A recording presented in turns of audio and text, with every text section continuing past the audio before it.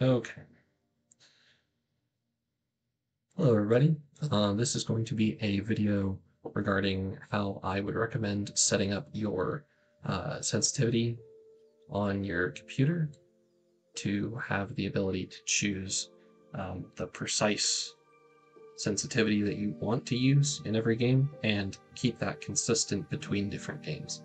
Um, so as far as I categorize things. There are basically four different sensitivities that you have to account for. The first one is the DPI of your mouse. Um, basically, faster DPI means that for smaller physical movement of your mouse, your cursor will go farther on your screen. Um, there is a common misconception that a higher DPI means the mouse is actually like more accurate. Uh, it's it's not.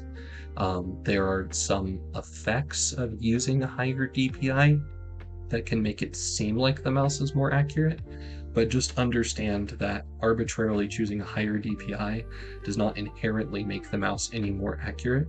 Uh, and this comes back to a lot of the reason that you will see by far the most common DPI settings for um, for people who are serious about you know being as good at using a mouse and keyboard as they can be, they pretty much all of them run either 400 DPI, 800 DPI, or 1600 DPI. Now, there's no real reason that they're attached to those particular numbers other than those are preset values which come on a lot of different mice. And so it's an easy number to use um, as a reference point. So if I get used to running 1600 DPI and then eventually I want to change my mice, I can buy a new mouse and be extremely confident that I can choose 1600 DPI with that mouse and keep using the same setting, right? So if you don't want to have to worry about messing around in software or limitations of different mice in terms of choosing specific DPI numbers, the easiest thing to do is stick to one of the very common preset values. Um, and 400, 800, and 1600 are certainly the most commonly used uh, options. The other thing is that using arbitrarily large DPI uh, can actually have negative effects on the performance of your mouse. So if you have a mouse like this, it's capable of like, I think it's 30,000 DPI or something at a maximum value. Um, but what you'll find is that above a certain level of DPI, uh, they have to do one of two things. Either you'll start getting um, jitter in the sensor, which essentially, yeah, makes it jitter slightly and can affect your accuracy, um, and just generally is not a pleasant feeling to have. Uh, or what they have to do to prevent sensor jitter is introduce smoothing frames, um, which essentially cause additional input lag. Uh, and it's so they can average out the readings of the sensor over a larger period of time and avoid this jittery behavior um, associated with the DPI being too high. Um, and so, as a consequence, uh, a safe guideline for all current top of the line sensor models. So anything like a 3389 or a 3370, a 3335, or a, the new 3395 sensor, uh, as long as you stay below 1900 DPI, which is, I think, where smoothing's introduced on the 3389, you should be totally fine in terms of you won't either get smoothing or jitter. Um, and that's why 1600 is kind of the, the top end of the popular DPI options, because you can double that and go to 3200, and that's a common option on many mice, but depending on the sensor, you run into smoothing or jitter, so eh, not as helpful. Um, so generally speaking, that's why I would recommend that you set your mouse to 1600 DPI. Um, now, there can be some issues where if you're used to running a very, very low sensitivity, uh, it can turn out that you can have some some limitations in your ability to select the exact sensitivity you want um, at very low sensitivities if you run 1600 DPI. So if that's the case, it's totally fine to turn it down to like 800 DPI.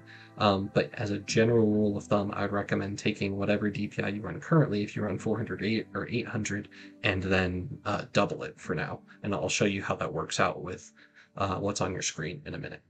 So outside of DPI, the next layer is your window sensitivity. Now most uh, video games these days will ignore your Windows sensitivity settings for your mouse speed um, and just look at the raw input values. Um, the, the the reason you care about this primarily is for those games that don't ignore the Windows sensitivity settings. You want to make sure that you haven't messed these up completely and thus um, affected your in-game performance. So in general, for mouse pointer speed, here, uh, leave this at 10 out of 20, and then go down here to additional mouse options, go to pointer options, and make sure this box, enhanced pointer precision, is unchecked. Uh, that introduces mouse acceleration, which generally speaking is considered not great uh, for, for especially for use in, in shooter games. But um, some people do like it and play well with it, and that's totally fine. Um, but there's a better way to do mouse acceleration than using the one that's built into Windows. Similarly speaking, this is a, a sensitivity multiplier, um, is what this bar does, and there's nothing wrong with wanting to increase or decrease the sensitivity of your mouse. It's just that there's a better way to do that. So leave this guy in the center at 10 and make sure that the Windows mouse acceleration, the enhanced pointer precision, is uh, unchecked and then we're done with our Windows settings. So the next thing you want to do is download this program called Raw Accel.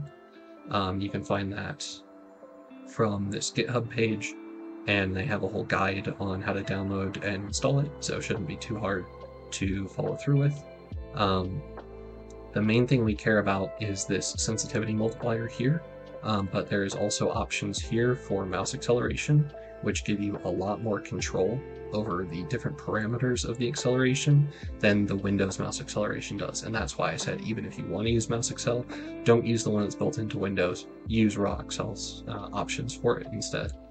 Um, but for the rest of us that don't use Mouse Accel, or for those of you who do, the other thing that you care about is this sensitivity multiplier. So the reason I advised that you double your DPI from where you're used to having it is so that we can set this sensitivity multiplier to 0.5. So by default, this is 1, which means it's not increasing or decreasing the speed of your mouse. But for me, um, this is way too fast. Uh, 1600 DPI for browsing my desktop like this is way faster than what I'm comfortable with. Uh, I would want it to be at least 800 DPI, if not lower. So what I've done is by setting this to 0.5, I've cut my speed in half and this is now much closer to a value that I would be comfortable with for desktop browsing. So essentially, set your sensitivity multiplier here uh, to give you a speed for desktop browsing that you're happy with. Um, but what you want to do is make sure that this number is under 1.0. So uh, probably to be safe, I would say make it 0.9 or less. Uh, and if it's still too slow for you, then increase your DPI further. Uh, don't um, raise this up over one. The reason I'm saying that is it comes back to what happens if you try to artificially inflate sensitivity using a multiplier. Um, the only way it has of doing that is a process called interpolation, which basically means we're going to pretend that the sensitivity is higher than it is. So if I set this to like 2, for example, what it does is every time the computer registers one movement input, so let's say it wants, like it, it gets from the mouse, hey, move to the right one, like that, right? Then instead what it does is says, oh, I'm just gonna move to the right two instead. And so it just moves twice as far all the time, and that's what happens when you use a sensitivity multiplier of two. Well, that doesn't really help, because if I do that, what you'll see is actually that the minimum size distance I can move my mouse cursor is a lot larger, and especially for diagonal or circular movements, it ends up looking very jerky and awkward, right? Um, but if you set it to 1 or less, it doesn't do that, so you can make the same sort of movement, and it's still jerky a little bit, but it's a lot less bad than what it was before. Now, what happens if you set it to 0.5? Does it make the the the minimum movement size half as big? Does it actually add accuracy to the mouse? No, it doesn't. That's why I said arbitrarily large DPI values did not did not actually make the mouse more accurate. What this does is it starts ignoring a certain percentage of the inputs. So at 0.5, the way that it cuts your sensitivity in half is that it waits until the, the mouse sends it two movement inputs and then it moves it one on the screen. So it ignores half of them, right? If you had set this to like two thirds, it would ignore one out of every three, or if you set it to one third, it would ignore two out of every three, so on and so forth. Um, so that's how this works. And that's why I, I said in general, you want to have this set up so that it can always be less than or equal to one because then you don't introduce any pixel skipping, uh, you don't lose any accuracy. Whereas if you make this number higher than that, you do actually lose some accuracy. Okay, so uh, in general, then what you want to do is pick a sensitivity multiplier value that you feel comfortable with for browsing your desktop. And once you've done that, then we're all done setting up our, our Windows desktop browsing sensitivity, whether or not you use acceleration. Um, that's what you want to have by the end of all this. So then we're going to be, okay, we're done with Raw Accel. Now we've got to figure out our in-game sensitivity. And this is where um, having Raw Accel installed on your computer can be a major benefit over um, just relying on DPI to adjust your sensitivity. And I'm going to give you an example. So this program is called AimLab. Um, let me actually change the capture type back to game capture instead of desktop capture. Hopefully it will actually load my user interface for Streamlabs. Um, the reason that I'm doing this is because game capture is significantly less demanding in terms of resources, so my game will run smoother. Um, but um, okay. That's weird. It's not showing any audio levels. Yeah, whatever.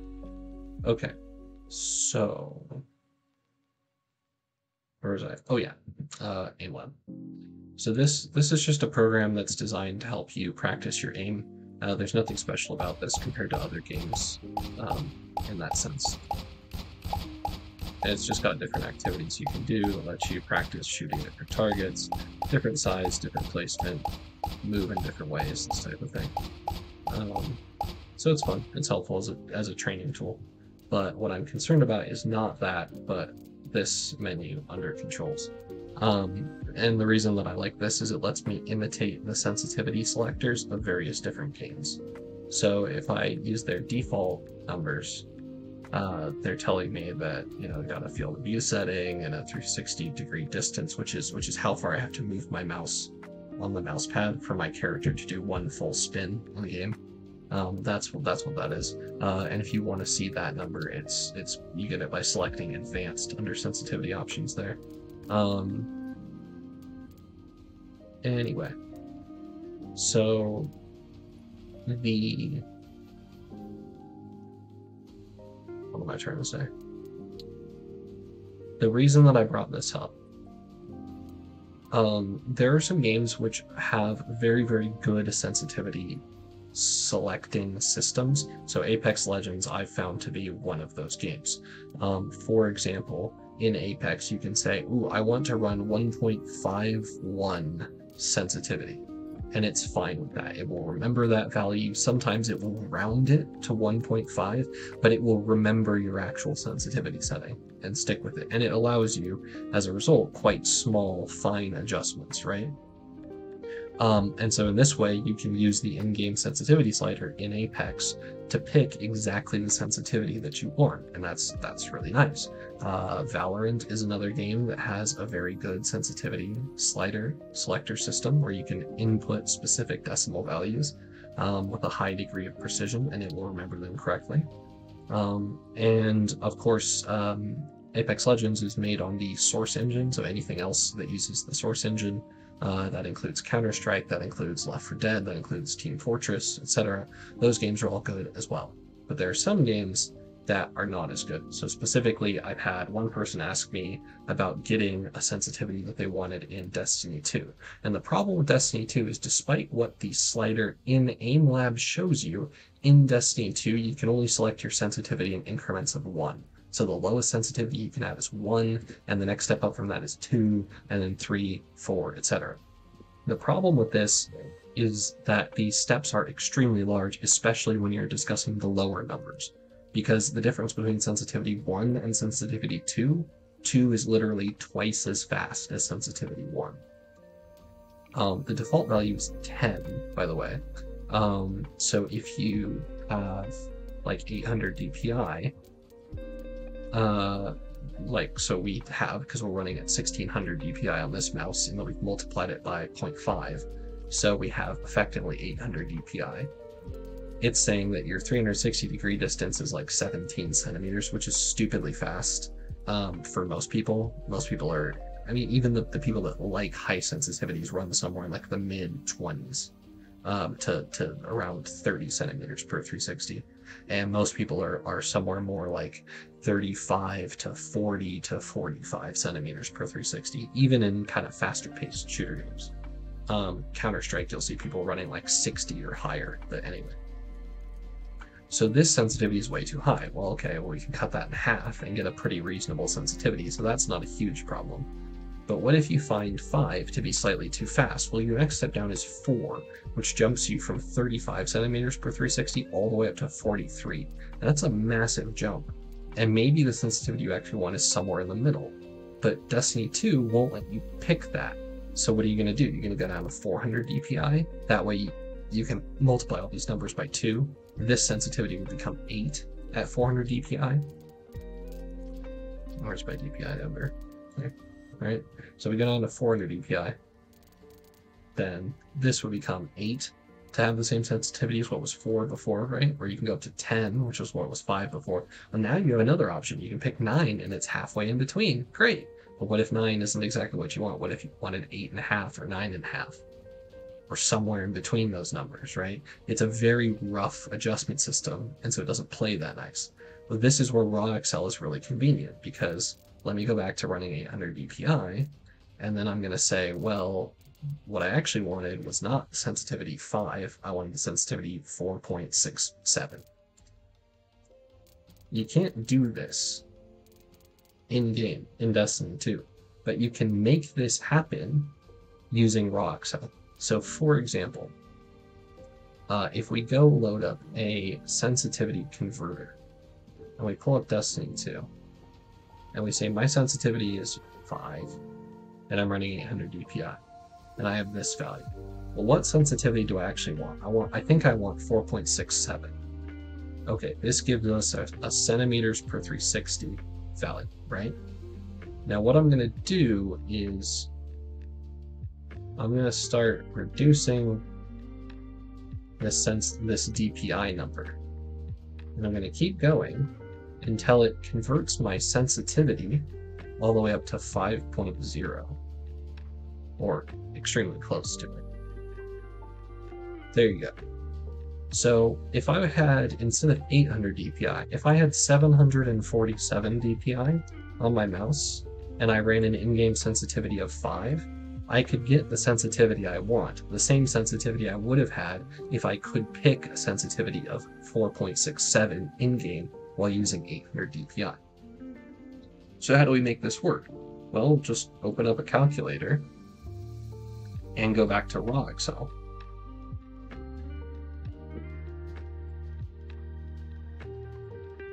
So we had 0.5 sensitivity multiplier to start with, but what we want to do is we want to reduce our DPI from 800 to 747. So 747 over 800 is 93.375%.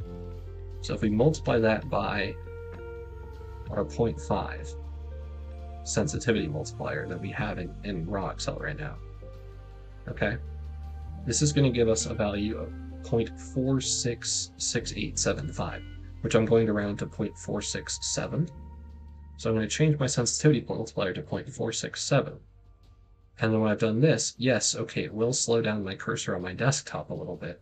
But now I can open up Destiny 2 and I effectively what I have is this DPI value 400 or 747, and so I can run an in-game sensitivity of five and get the speed that I want. So Raw Accel lets you compensate for games that have terrible, inaccurate sensitivity sliders and lets you pick exactly the sensitivity that you want by messing with small changes to your sensitivity multiplier. Does that make sense? Um, and the other thing that you can use this for is you can use this to compensate for the differences between two different mice. So for example, I like using the Fantech Aria, but I also like using the Vaxee Outset AX. But I've gone through and I've used um, this website, let's see, uh, here to test the slight changes in sensor between these two mice. So what happens is actually if I plug in both of these mice and set them both to 1600 DPI and then move them around, the Fantech Aria feels a little bit faster.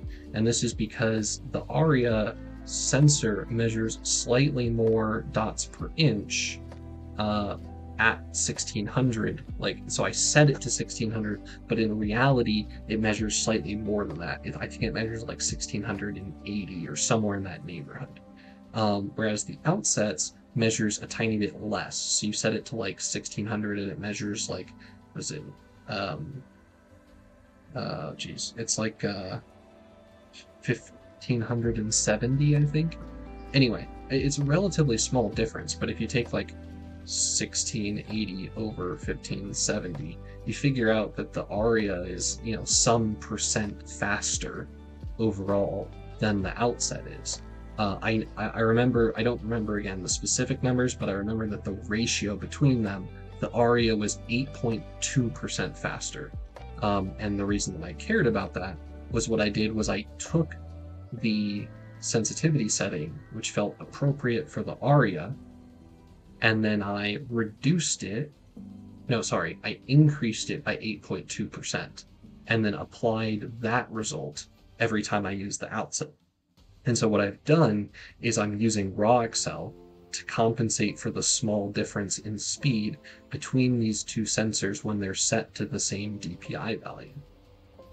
So that's another way to use Raw Accel is you can have specifically a sensitivity multiplier that lets you choose the sensitivity you want in a particular game.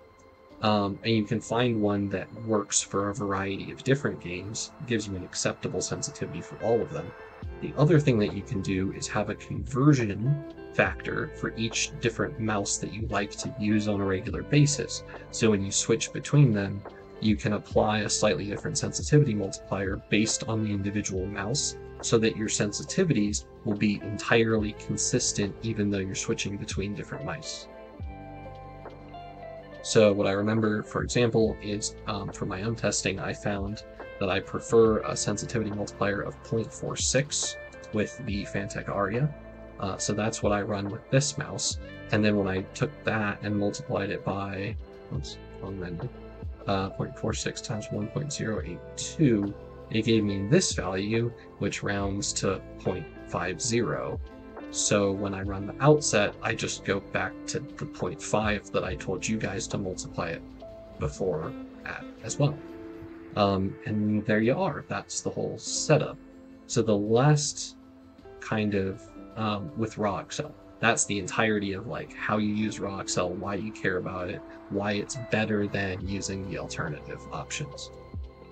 The last thing uh, to consider is just how do you find an in-game sensitivity that you like the feel of. So, um, for example, I've been playing a lot of Apex Legends uh, recently, and this game has been kind of challenging to get adapted to. And it's because the way that Apex Legends works, it demands that you have a relatively high sensitivity for tracking fast moving people at close range and for doing certain kinds of movement. But it also uh, has a fairly high requirement for precision in order for you to be effective with certain weapons at longer ranges when you're trying to poke people out or um, you know make your way into a ring and there are people holding a compound and you have to kind of try and siege them and get some damage so that you can then push them and try to wipe the, the team out.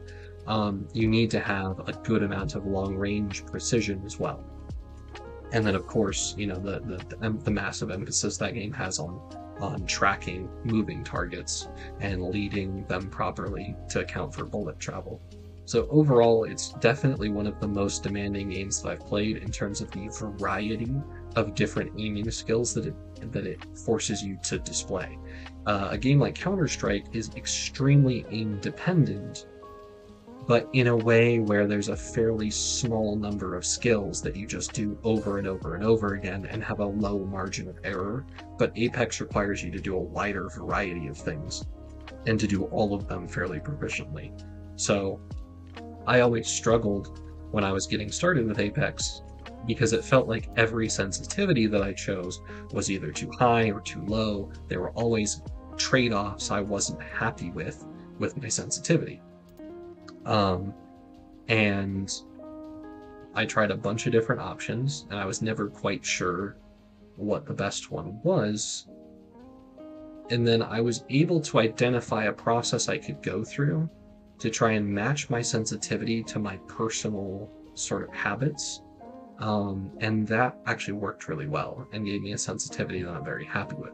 So what I'm going to do is walk you guys through um, what I did and, and, and why.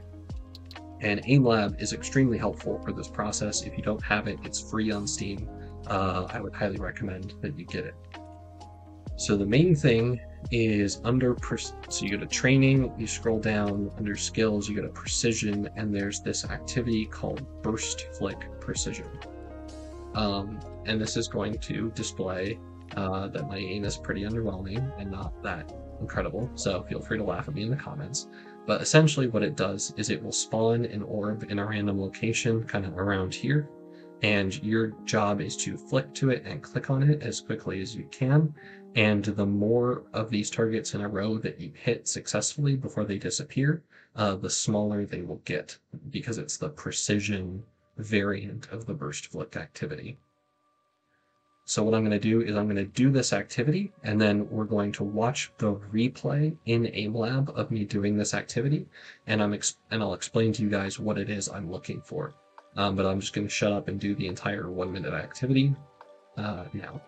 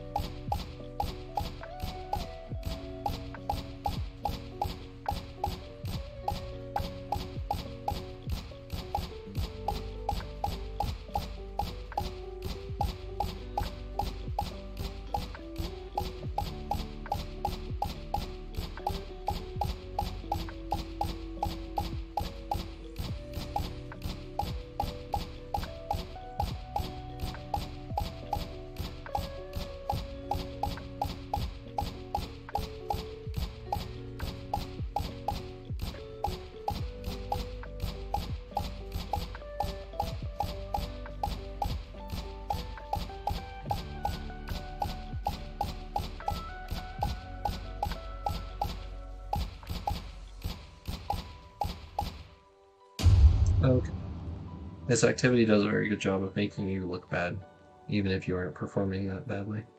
Um, anyway, what you want to do is before you leave this screen, because it's difficult to find this later, I'm not even sure if you can, you want to go here to the View Replay option. And the built-in replay uh, system in AimLab is very helpful. Um, so first things first, select this option here to display the leading path and then you also want to slow down the playback speed. Um, I use either 0.25 or 0.1 depending on how much I have to process for every time I see myself shoot something. I'm going to stick to 0.25 for now uh, in the hopes of keeping the video moving along at a healthy pace so you guys don't get too bored. So essentially what I'm going to do is I, grab a piece of paper and a pen uh, and I'm going to write down whether every single shot that I make in this activity if I went too far, if I didn't go far enough, or if it was on target. So Uh, the terms that I use are overshoot, undershoot, and then I just call it good if I hit the thing. Um, and I'm, I'm just going to tally up um, the performance. So you can see here from this one, the leading trail uh, here shows that I go all the way to like the very back of the target. Uh, and so this is what I would call an overshoot. Like I, I pretty much go all the way past the target and then I end up having to correct back onto it um, like that. So that definitely gets marked as an overshoot. That is not perfectly centered, but it is close to the middle of the target, so I'm going to call that one good. Uh, and then this looks like another overshoot. Yeah, I'm going to call that an overshoot, even though it's just barely inside the target, because these targets are going to shrink the more that I hit. And so like this size one, it would have been a complete whiff one. Um, that's, I'm going to call that one good. Same there, good, so two more good. And then barely good. The other thing here, uh, I wanted to be specific about this. So you see how I'm not in the center of the target, but I'm off to the side from where I started. Like if I draw a line to the middle of this target, where I end up is over here on the left, right? For the purposes of watching this replay, don't care how far you are off to the left or the right of the target relative to where you started. Um, that's an aiming issue, like a muscle thing uh, that you can train to get better at in terms of moving your mouse in the right direction. The only thing that your mouse sensitivity is going to affect is how far your mouse goes. So the only thing that I care about is if I draw an imaginary line from where I start to the middle of the target, I only care about did I go too far or not far enough. I don't care about if I'm off to the side or not. So anyway, I'm going to call this one good because even though I was off to the left, the distance was correct to the center of the target. And that's barely good. Good. Uh, that looks like an overshoot. I didn't quite see it accurately, but we're calling that an overshoot. And so on. Um, good. Good. Barely. Overshoot. Good. Good. Good overshoot, overshoot, overshoot. Somewhere between good and overshoot, good, good. Again, I'm off to the right, but the distance is good. Good, good. Uh, overshoot, good. I'll call that good because the target's fairly small already. Um, again, good because it was off to the right. That's an overshoot. I don't remember how many goods we've had. It's been a fair amount. Um, okay. Let's see. Am I calling that an undershoot or am I barely calling that good? I think I'm barely calling that good. Okay, okay, okay. Kind of awkward, but barely good. Again, off to the side, but a reasonable distance. That's an overshoot. Okay. Okay. okay. Overshoot. Okay. Definitely an overshoot. Okay. Okay. Okay. Okay. Okay. Overshoot. Alright. And so, anyway, I'm not gonna watch the entire thing. There's like two thirds of it left. Um, you guys get the idea. When you're done, tally up the overshoots and the undershoots and compare them to each other. If you have significantly more overshoots than undershoots, it might be a good idea to try lowering your sensitivity.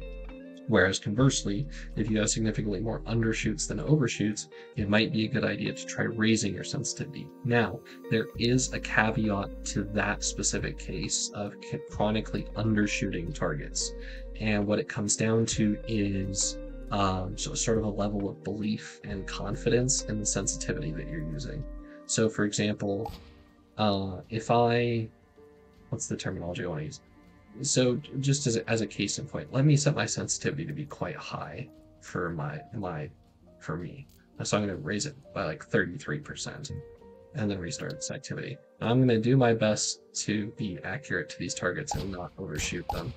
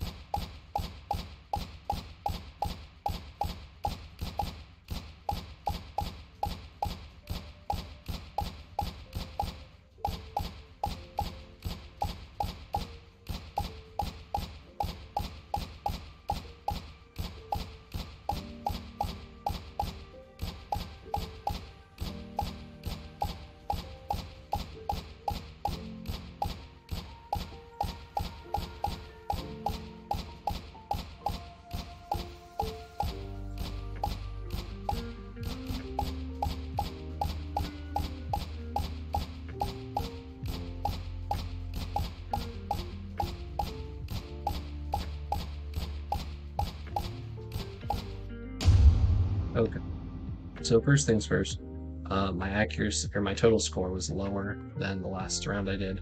So you can see uh, I lost like a thousand points or something. And again, I was but like same accuracy, percent accuracy, and only very very slightly longer time to kill, right? So overall, on paper, these two sensitivities don't look like they perform that differently. But if we if we watch the replay back, I want to point something out to you guys. So first things first, watch the color of the um, the trail here. So when it's red, that means I'm moving the mouse slowly. When it's yellow, that means I'm moving at a kind of medium speed. And green means I'm moving the mouse quickly. Let me actually slow it down so you can watch this better. And if you look, like, yeah, I'm not really overshooting these targets, but like, see what I did there? I, what I was trying to do was make a very deliberate effort to not overshoot the target because I knew that I had set the sensitivity to be high and I was trying to like compensate for that with my play. So this does a good job of illustrating like our body's ability to adjust for changing factors, but it has side effects and drawbacks. So the first thing that you notice is the color of this line in the middle where I would be moving the fastest during this flick, still orange not even yellow, much less green. So the maximum speed I get the mouse up to, not that high, kind of indicates that I'm not very confident. The other thing that you see is I pause like before I get to the center of the mouse. You say, well, that's an undershoot, right? Yes, but why was it caused? In this case, it was caused because I was paranoid about overshooting the target and I wasn't willing to relax my arm and just make the flick that I thought would be the right flick to make for a target at that distance. Because I knew that my tendency was going to be to overshoot the target massively as a consequence of how much I had increased the sensitivity. So I pull myself to a stop early and then kind of walk it into the middle of the target. You see that? Similar thing here, slow down and then walk it in. And the maximum speed I'm getting up to, still, you're never really seeing it turn green right? Like it's getting, okay, there we've got some green. But for the most part, unless it's these really long distance flicks, like I'm just not getting the mouse going that quickly. And I'm having this tendency to slow down, right? While I'm still off the target and kind of slowly inch it into the center before I click. And this is this is another way that you can identify potentially it would actually be helpful, despite the fact that it looks like I'm undershooting, to lower your sensitivity more and work on relaxing. Do like unironically do the the Burstflick precision activity more as a way of practicing. Try to get yourself in the habit and feel uh, what it's like to make that flick at the correct distance, and then come back and try this again and do your best to relax and make the kind of motion with your arm do the flick that feels natural to you. Because what we're trying to do here is not identify what sensitivity will let you get the highest score out of a sample size of five tries or something. What we're trying to do is identify your natural tendencies and then match your sensitivity to that. So what I'm again what I'm seeing here with this like where I'm slowing down off target and then kind of locking it in I don't want to see that in my own gameplay because I know that that means that my flicks are, are going to take a long time, right? I'm going to flick near the target and then I'm going to have to stop, check, am I on target? No, okay, make a correction, then click. And you don't really want to get in the habit of doing that as your default way of playing the game, right? Um,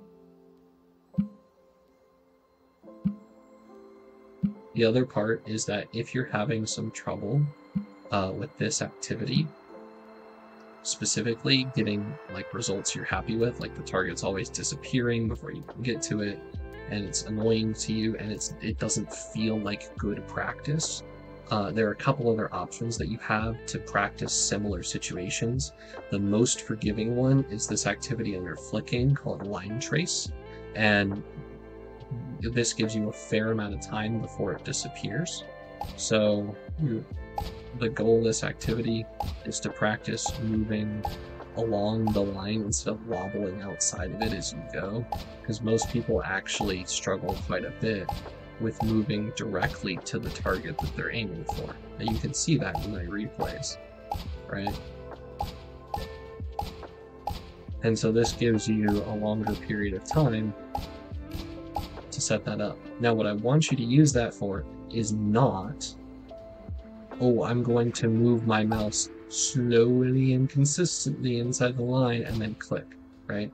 That's not helpful for what we're trying to see from you to determine your sensitivity. It's click, look at it, figure out where the target is on your screen, and then try to flick all the way to it in one motion. So you saw there, like I massively underflicked, right? Again, I underflicked. Slight overflick. Slight overflick. Slight overflick. Oh, massive overflick. That was on target. That was on target. Slight underflick. That was off to the side, but the distance was correct. Underflick. Underflick.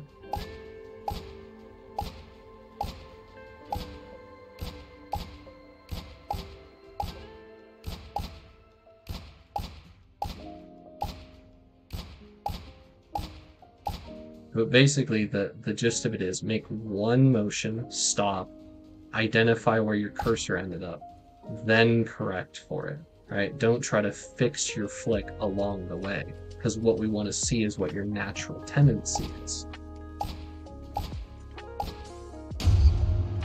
So in this one, if I go watch the replay, this will give us some helpful insight as to whether or not I might want to consider adjusting my sensitivity slightly. Now, I know I don't want to because I've tried every other sensitivity that's remotely near this one, and none of them feel as good for me as this. This is just a matter of me needing to practice more. But this gives you an illustration of what you're looking for, at least. There's just a lot of delay because of it. So, yeah, so you see this like massive undershoot and then I fix it, right?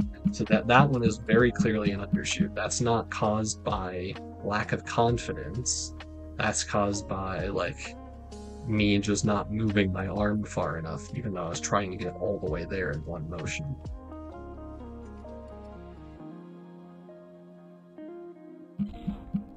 So again, right? Didn't get there in time. So if I if I count these out, so far we've got two undershoots. That's an overshoot. That's a slight overshoot, but it's still an overshoot because these targets are consistently sized. I'm going to speed this up to half speed. That's an overshoot. Okay, that's an overshoot. That's a massive overshoot. that's good. That's good. Okay, that's an undershoot. That's good, because it's off to the side and it's the right distance. Good. Um, that one did go slightly up off target and then correct back, so I will call that an overshoot, even though it was very almost good. That's an undershoot. Undershoot. Call that one fairly good. Good. I think. Wait, let me go back. I didn't actually see that one happen. Um, yeah, that was good. Okay. Good. Oh, fairly good. Good. Overshoot. Overshoot. Good. Undershoot. Overshoot. Good. Good. Um, that if that one was directly on the center of the target, it barely would have been good. It was off to the side, so I'm gonna call that one good. Good. Good. Overshoot massively. And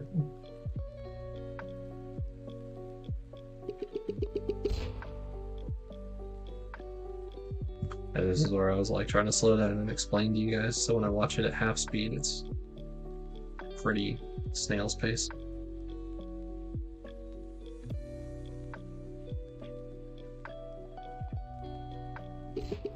Alright, so that's an undershoot. That's good, good. Oh, I ran out of time. Okay, so in summary, I had 10 overshoots and 7 undershoots. So not too far off, not a huge difference between the two. Um, and that indicates that my sensitivity is probably about right. And I know that it's, again, about as close as I'm going to get. So, um, so that's the kind of result that you hope for. Ideally, it would be a little bit closer. Um, for example, I might try lowering my sensitivity ever so slightly. Um, so what that would look like in this case is I would leave my in-game sense alone because I have a reason for choosing the sense that I use in-game in Apex. And I would reduce this from 0.5 to 0.49 or uh, 0.495 like this just to make a tiny correction to it and see how much that affects my aim. So I'll replay this just for fun. See if my flicks are more on target.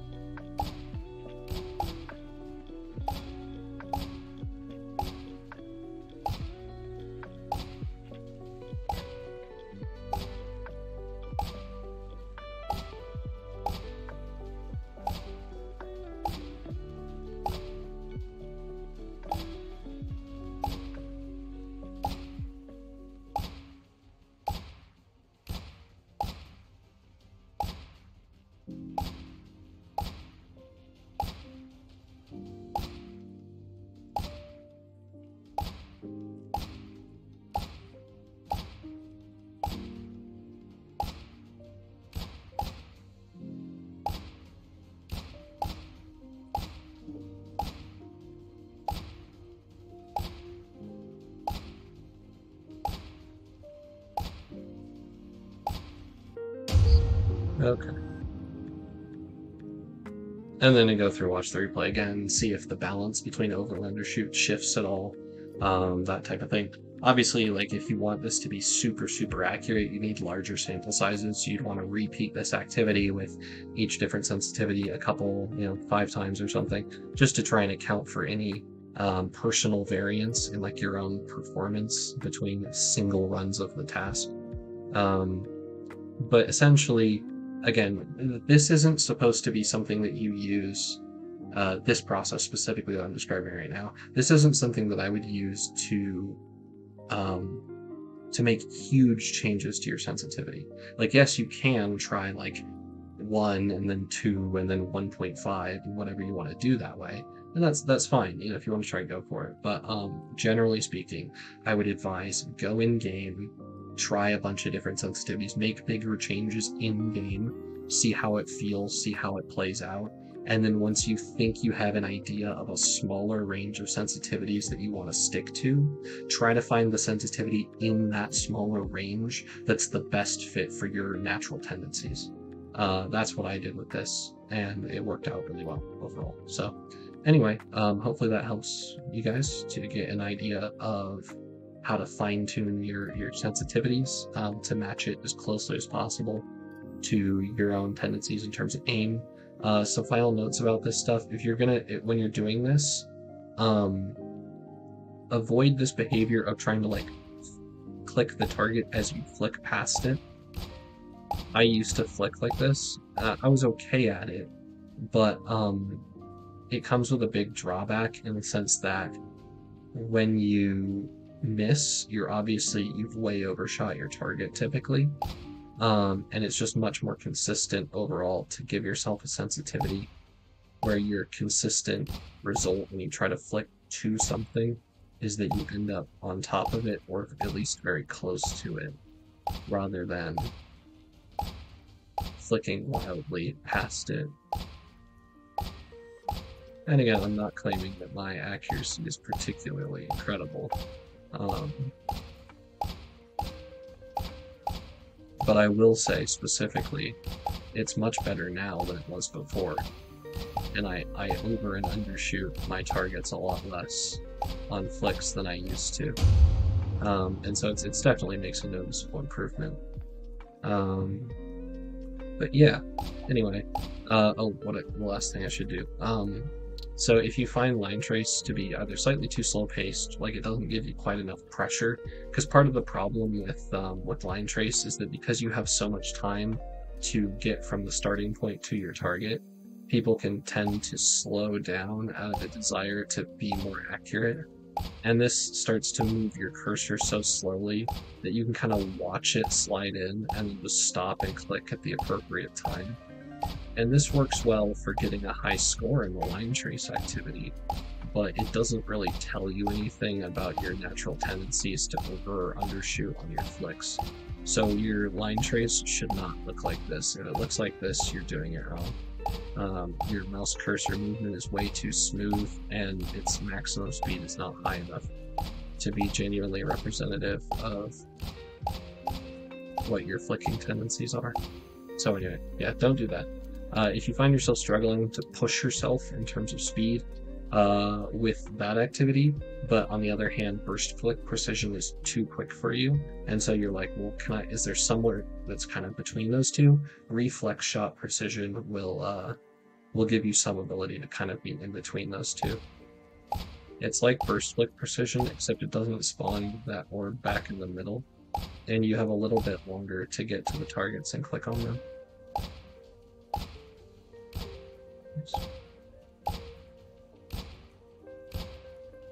And again,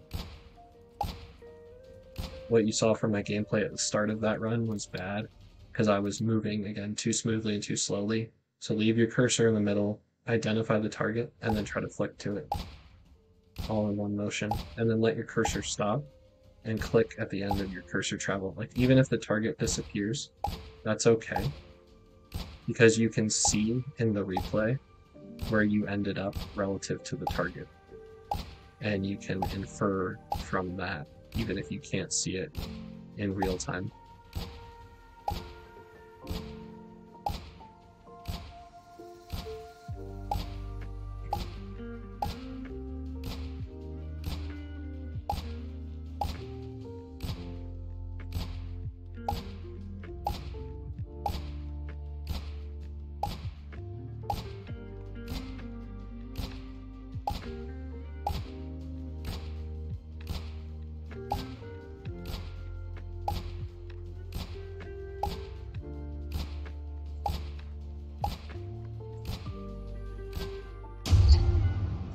So for reference, uh, if we watch the replay back, because we have leading trail on, you can always see where it ends up before the target goes away.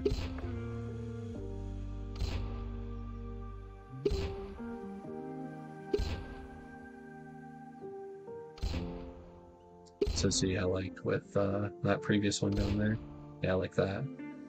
Even if they're disappearing before the cursor gets there, you can see where it was going to end up. So you can judge the over or underness based off that. Anyway, so yeah, um, hopefully that helps. Hopefully that makes sense. Uh, the other thing to do that I would say is very crucial is once you think you've decided on the sensitivity, try a couple of other activities, like things that encourage uh, different priorities or different types of aiming to see how this new sensitivity suits those activities as well. Because everything is a bit of a trade off. Uh, so, for example, in Apex, like a big focus is flicking to a target and then sort of continuing to track it. So, this activity switch track is a good example of that.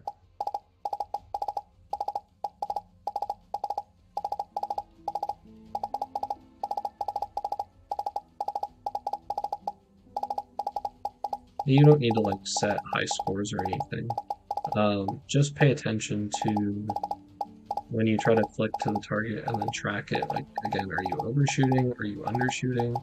How consistently are you able to track the target once you finish flicking to it? Like, do you flick to it and then does your cursor keep wobbling around and falling off of it?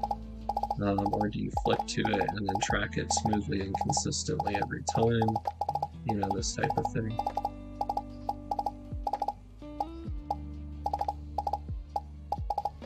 You can see I'm having a little bit of trouble uh, consistently, smoothly tracking the targets at the end of the flex right now.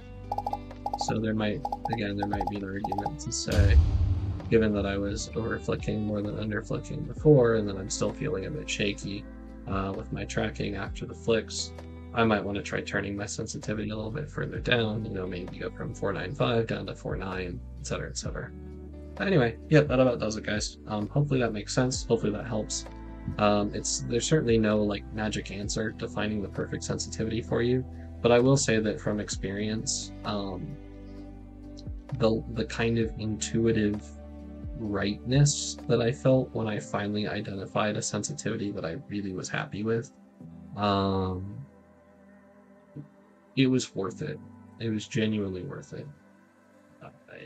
I, I, that that was like the first time where I would load up a game, not perform very well, and then instead of having that gut reaction of oh maybe I should change my settings or maybe I should get a different mouse, it's like okay, I had a bad game, that's all right. I have stuff that I can practice or work on, but I didn't. I, I knew that changing my sensitivity wasn't going to like magically fix my problems. There wasn't just like something out there that I was going to uncover behind a rock one day that was going to fix my aim, you know. Uh, and so it just let me move past that that level of trying to use equipment as an excuse for bad gameplay. And that opens up a door to some real improvement that you might otherwise continue to struggle with. So, like like I said, I think it's worth it. Um, and it's just more fun if it feels like your aim matches like intuitively to what goes on on your screen. Um, so it's a fun feeling. So, all right, if you guys have any questions, uh, let me know. Um, hopefully this all makes sense to you. Um, but I totally understand if my descriptions were inadequate in, in some manner or another. Um, yeah, I'll, I'll be reading the comments, so, you know, let me know what you thought of the video and uh, any other ideas you have for stuff I might be able to, to talk over um, to try and give people better resources for, for figuring all this stuff out. Anyway, thanks for watching all the way to the end, guys. If you made it all the way here, you're a legend. Um, and I will catch you in the next video.